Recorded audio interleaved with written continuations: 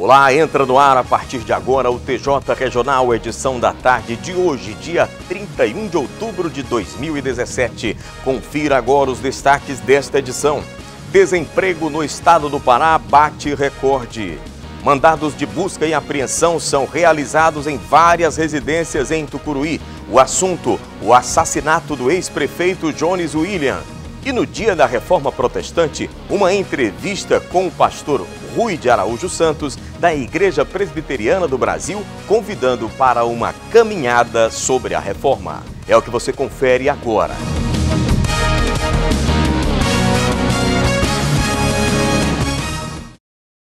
Antes da gente começar, vamos falar sobre sorriso, vamos trazer notícia boa, falar sobre a Pop Dentes, a maior clínica odontológica do estado do Pará, melhor dizendo, a maior rede de clínicas odontológicas. E em Tucuruí, a Pop Dentes está instalada na Lauro Sodré, bem em frente ao Bradesco. Olha só que estrutura maravilhosa para você. Tem dentistas que têm formação específica para a área, viu? Para melhorar o seu sorriso, para cuidar aí do seu canal, obturação, restauração, limpeza e tudo mais. Gente, estou falando é da Pop Dentes, viu? Pop Dentes que tem planos odontológicos a partir de R$ 9,90. Olha só que maravilha! Vai lá e confira agora mesmo na Lauro Sodré, em frente ao Bradesco. Pop Dentes sempre uma perto de você.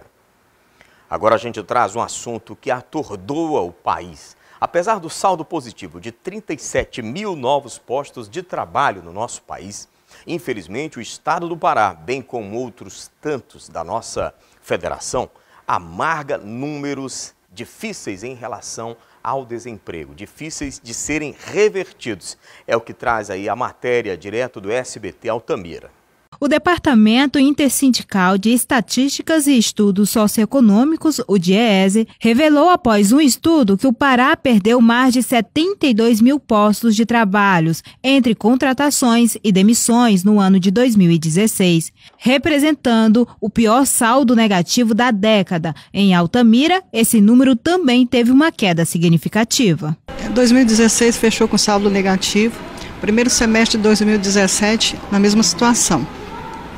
Isso se dá também pela economia do país, no modo geral, e na nossa região, basicamente, essa questão de obras, né? diminuição de obras, algumas questões de contrato também, obras que deveriam estar iniciando, não iniciaram também. Então, essa queda se dá devido a isso. O Pará é o estado que mais desempregou na região norte, responsável por quase 50% das perdas dos postos de trabalho. De acordo com o DIESE, entre os setores econômicos do estado, o maior número de empregos perdidos está no setor da construção civil, com uma queda de quase 27% trabalhadores na área da construção civil continuam demitidos, sem trabalho, sem posto de trabalho. Quando surge aí 30 vagas, tem 300 currículos na porta da empresa, né? Então, essa é a realidade. A queda de desemprego em Altamira já tem refletido na vida dos altamirenses. Todas as manhãs, o Cine recebe uma grande demanda de pessoas em busca de emprego. A gente está aqui tempão já, todo mundo aqui pai de família aqui, trabalhador vende suas casas que a fim de arrumar emprego, não tem decisão nenhuma, é complicado. E lembrando que a construção civil tem sido o fator diferencial no que diz respeito à geração de empregos no estado do Pará. Existe também, existem, melhor dizendo, várias promessas de que novos projetos sejam implantados, a exemplo da Aços Laminados no Pará, que o Grupo Cevital iria implantar após a Vale ter largado de mão. Infelizmente, o grupo também se retraiu por conta da crise global e agora também nada de instalar-se um novo projeto em Marabá. Ah, também tem a questão da mineração em municípios como Pacajá, por enquanto ainda não saíram do papel nem das pesquisas de fato.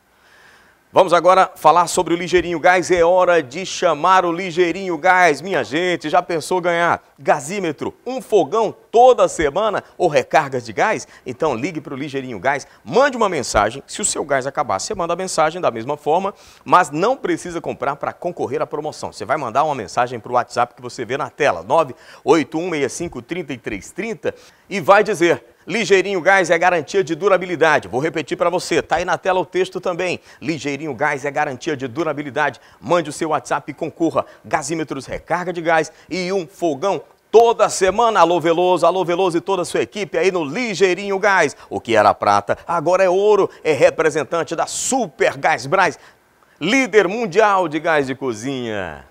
E no próximo bloco nós vamos trazer as informações sobre os mandados de busca e apreensão no município de Tucuruí, referentes ao assassinato do ex-prefeito Jones William.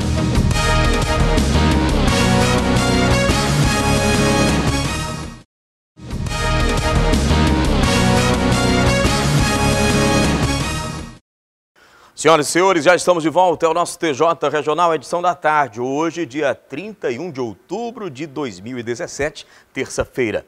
Eu quero agora falar para você da Parafogo Extintores, informações completas no VT.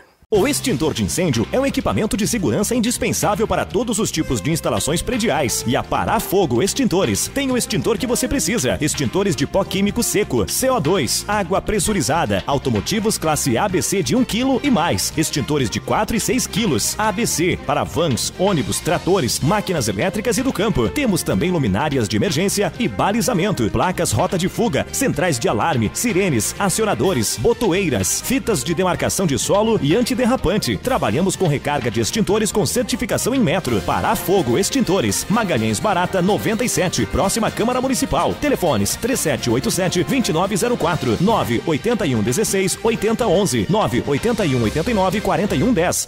Em Altamira, foram presas pessoas acusadas de receptação. Um veículo, um automóvel, uma Hilux estaria em poder de alguém que não sabe se ao certo de onde veio esse veículo, hein? Informações com SBT Altamira na tela agora pra gente.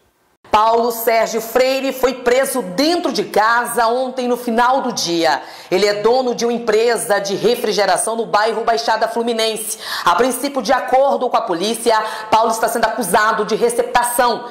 Ele foi levado até este terreno onde a Hilux roubada estava escondida, uma área isolada e cheia de mato. O terreno fica anexo a uma oficina no bairro Jardim Morumbi. O carro foi encontrado já sem placa. Segundo a polícia, a área pertence ao acusado que teria mandado guardar o veículo no local. Estava em um terreno ao lado da oficina.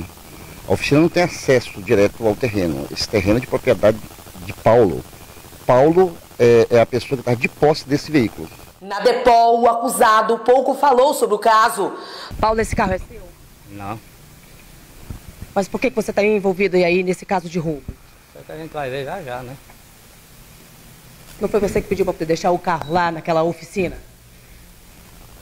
Um funcionário da oficina que teria tirado as placas também foi levado para a delegacia como testemunha. Segundo informações, o veículo que pertence a Magda Dila Ribeiro da Silva teria sido roubado na semana passada por dois homens armados que agiram de cara limpa na rodovia transamazônica. O boletim de ocorrência foi feito por Mike Wesley Pimentel Freire, sobrinho de Paulo. De acordo com o boletim de ocorrência, o assalto foi no dia 18 deste mês, por volta das 6 horas da manhã, no quilômetro 134 da rodovia Transamazônica, próximo a Garapeira. Dois homens armados e uma bros preta abordaram a vítima e anunciaram o assalto. Depois, fugiram sentido Uruará. É segundo o relator do BOP, do BO, o relator do BO, ele transitava pela BR-230 quando foi abordado por duas pessoas de uma moto que armadas, arma de fogo, deram voz de assalto e subtraíram a Hilux. O caso está sendo investigado pela polícia. O crime é afiançável. E que tal você comprar móveis e eletrodomésticos com facilidade, crediário aprovado, sem burocracia para você. E tem também cinco motos para serem sorteadas com exclusividade para Tucuruí. É a Promotão Eletromateus. Compre tudo que você precisa para sua casa e ainda concorra a uma dessas motos. Eu falei Eletromateus, tudo para fazer você feliz. E agora a matéria que nós traremos tem a ver com o assassinato do ex-prefeito Jones William. Uma verdadeira operação foi empreendida pelo delegado-geral Gilmar Firmino, junto com mais aproximadamente 50 outros policiais. Na tela, a reportagem aí pra gente. A Polícia Civil realizou na manhã desta segunda-feira uma operação em Tucuruí. Esta é mais uma fase da investigação referente ao assassinato do prefeito Jones William. O crime ocorreu no dia 25 de julho deste ano, enquanto Jones visitava uma obra de pavimentação na cidade. Após mais de três meses, a população aguarda por justiça. Durante a operação foram cumpridos 13 mandados de busca e apreensão, oito mandados de condução coercitiva e três prisões temporárias. Em uma coletiva, a equipe da Polícia Civil divulgou o nome das três pessoas com prisões decretadas: Marlon Frank Possebon, Paulo Ricardo Rodrigues e Gessivaldo Farias de Oliveira. Na casa do Paulo e na casa de Gessivaldo, duas armas de fogo foram confiscadas. É, cumpridos três mandados de prisão, que foi do, do empresário até construtor aqui na, na cidade, Marlon Frank Possebon, do Paulo Ricardo Rodrigo, Rodrigues, aliás, e do Gessivaldo Farias de Oliveira. Então, Gessivaldo Farias de Oliveira. Então, essas três pessoas, tendo, nós levantamos na investigação, o, o Paulo Ricardo e o Gessivaldo participaram da logística, inclusive um deles esteve, esteve no local do crime com o Bruno. O, o Gessivaldo, ele comprou droga, levou droga para o Bruno antes do crime e também depois. Né? Essa é aquela pessoa que a gente chama de, na nossa linguajar, de avião. Então a participação dele foi nesse sentido tanto antes como depois do tempo que teve esse contato, levou droga. E o Marlon, Franco bom, que é empresário, e pelo que nós levantamos, ele teve uma participação que necessita de, de, de, esclarecimentos mais profundos. Mas houve a participação dele, é tanto que a prisão, a prisão temporária foi decretada. Na ação foram apreendidos vários documentos. Com autorização do Tribunal de Justiça, o prédio da Prefeitura também passou por uma varredura. Essa, essa, essa, essas medidas que nós cumprimos, as medidas cautelares, foi exatamente para a gente robustecer mais ainda a investigação e esclarecer alguns pontos. A partir, da, da evidentemente, das buscas e apreensões que nós fizemos, nós vamos, esse, esse material apreendido, documentos, telefones celulares e outros objetos, lógico que vai servir como base ainda para a gente, gente concluir a investigação. De acordo com o delegado-geral da Polícia Civil do Estado, Rilmar Firmino, o atual prefeito de Tucuruí, Arthur Brito, foi notificado e esteve na Superintendência Regional do Lago para prestar depoimento. É, nós notificamos o, o prefeito, o gestor municipal, comparecer. Ele de livre e espontânea vontade, compareceu, não tem mandado de condição coercitiva para o gestor municipal, nem muito menos mandado de prisão preventiva ou temporária. Então, se alguém divulgou, divulgou de forma equivocada, é, tinha uma notificação e ele compareceu de livre e espontânea vontade a notificação que a autoridade policial fez.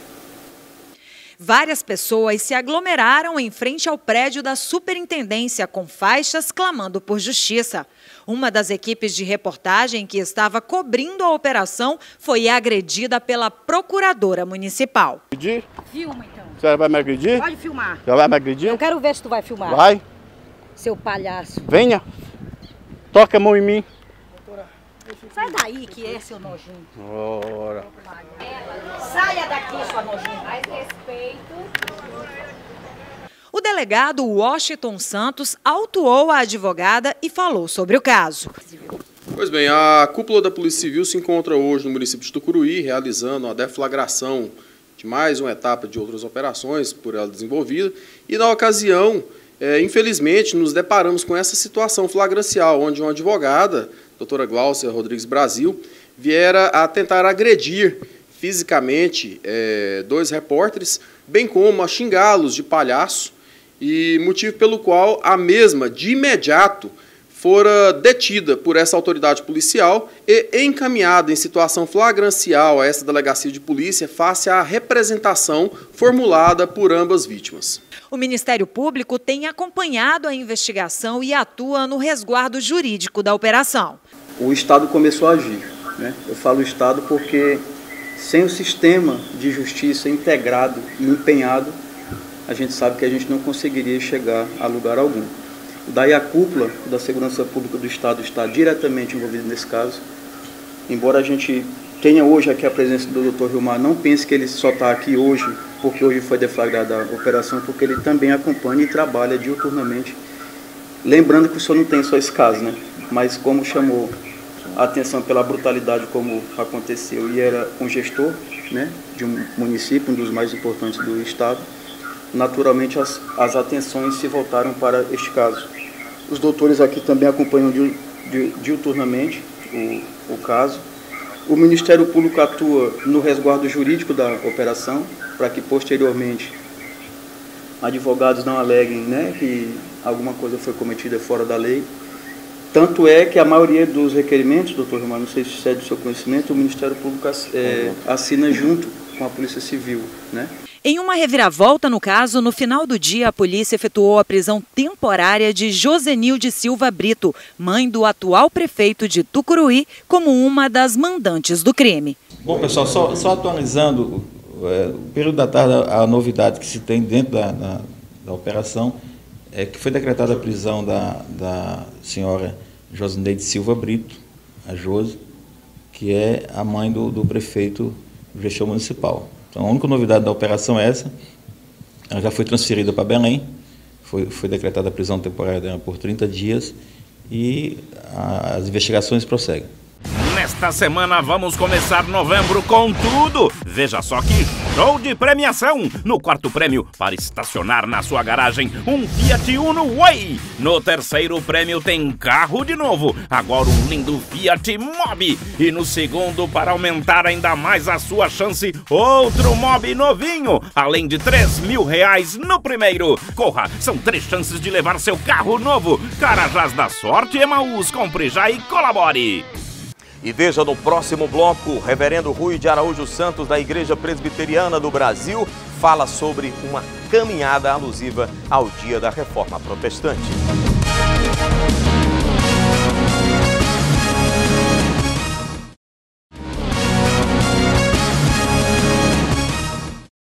Hoje aqui está no nosso estúdio o reverendo da Igreja Presbiteriana do Brasil, em Tucuruí, ele que é o presidente do Conselho da Presbiteriana em Tucuruí região, reverendo Rui de Araújo Santos. Muito prazer em recebê-lo aqui, pastor. Prazer, meu irmão Nilvan. Uma grande alegria estar aqui para tratar de um assunto tão importante como este, a reforma protestante. É, estamos à disposição. Perfeito. Vamos começar então, pastor Rui, falando sobre o cenário. Como é que era o cenário, o contexto antes da chamada reforma protestante, o, o contexto da fé cristã? Então, esse período é, antes da reforma protestante, ele é marcado por algumas dúvidas, alguns questionamentos, algumas dificuldades no âmbito geral. Uhum. A, a sociedade estava vivendo em momentos de conflitos, principalmente por reclamações ao que estava acontecendo dentro da própria igreja, certo. que havia se distanciado bastante daquilo que as Sagradas Escrituras elas regiam, é? Jesus Cristo deixa uma igreja com os apóstolos e esses apóstolos eles continuam pregando a verdade. Essa igreja cresce num período pós a ressurreição de Cristo uhum. e aí duram alguns séculos com o crescimento da igreja. Ela se torna então uma igreja marcante em todo o mundo. Nesse período, ah, quem dominava era o Império Romano, né? E esse império, ele, ele tem como objetivo abraçar a grande massa. Como a igreja estava crescente, então esse império também se sente na responsabilidade de dominar, de, no sentido Manter de dominar controle, né? e mas também de se tornar um, o, o, o, controlador de todas as coisas. O que, que eles fazem?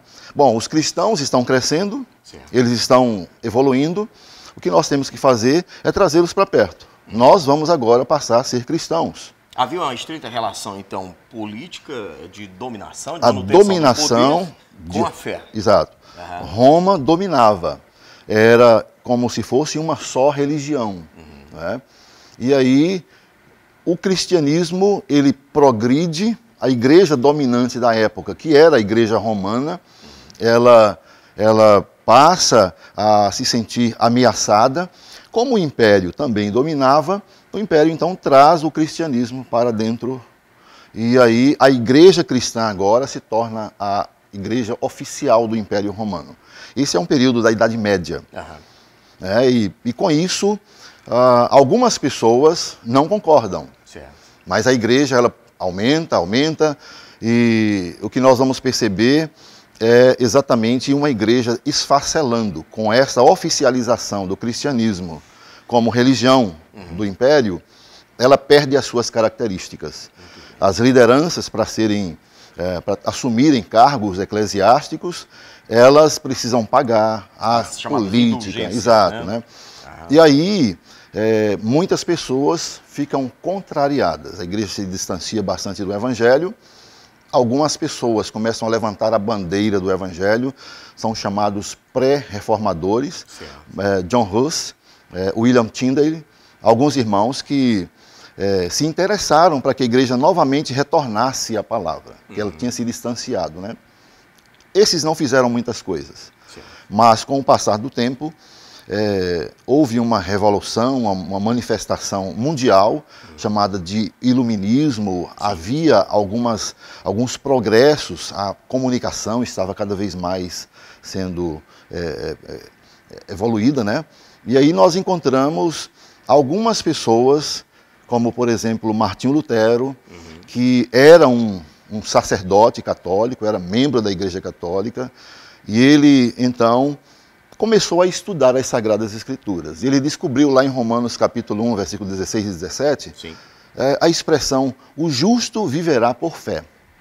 Né? Esse justo que vive por fé, Martinho Lutero não se vê é, assim dentro daquela realidade, porque ele estava aprendendo que para alguém ser salvo, ele precisaria de pagar. Era algo na, na parte das finanças, né? Ele tinha que pa- pagar dinheiro para que alguém seja salvo, ou para que alguém pudesse sair do- da condição de, do purgatório, tem que ser feita uma missa, tem que ser feito algo que, que vá eh, salvar essa pessoa. Martim Lutero, então, ele escreve 95 teses, 95 frases, defesas, com o objetivo de, de, de chamar o povo para discutir um assunto. Isso acontecia normalmente na, nas portas das igrejas, das, das, das empresas. Então, eles se colocavam temas e marcavam o dia para o encontro. Agora me permita fazer também uma observação, pastor. O mesmo povo que não tinha acesso às escrituras por conta de, naquela época, a educação não ser tão difundida. Então as pessoas não sabiam ler, por exemplo, né, Exato. pastor? Além disso, a- as missas, os cultos, eles não eram realizados na própria língua dos que estavam latim, presentes. Ah, é, a- cada um tinha o cuidado apenas de estar ali no culto, ouvir as preleções, mas em outro idioma. Certo. A reforma ela tenta resgatar, inclusive, isso também. Ah, o culto ele precisa ser lido, ele precisa ser é, ministrado na língua das pessoas. Para que elas compreendam. É, para que eles entendam o culto. Esse é um dos, esse é um dos movimentos, um dos temas principais Certo. da reforma protestante. Martinho Lutero, então, ele vem e diz: olha, somente as sagradas escrituras que podem nortear as nossas vidas. Muito bem. É, como o nosso tempo é um pouco resumido, pastor Rui, é, nós conversamos com o reverendo Rui, da Igreja Presbiteriana do Brasil, em Tucuruí, ele que é o presidente do Conselho de Tucuruí Região, da Presbiteriana, e junto com outros pastores, dentre eles pastor Océlio Nauar, da Assembleia de Deus, também certamente outras igrejas, é, estão organizando um movimento para hoje, dia da Reforma Protestante, 31 de outubro.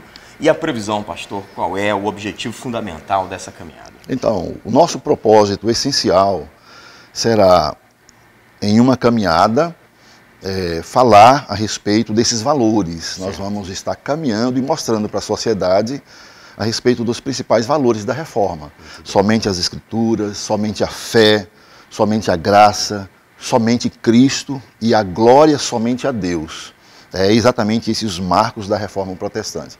É, acontecerá a partir das três horas e culminará com um culto à noite, lá na escadaria, e onde nós estaremos com um grande coral, entoando ao nosso Deus. Será um culto voltado para a glória de Deus. Esse é o objetivo da caminhada de amanhã. Amém. Que maravilha. No caso hoje. Obrigado, pastor Rui. Hoje. Um prazer ter a sua participação aqui com a gente no TJ Regional. Você que está aí, nosso telespectador, participe também. Obrigado. Obrigado, Nilvan. Que Deus abençoe. E hoje estejamos lá para fazer aquela grande manifestação para a glória de Deus.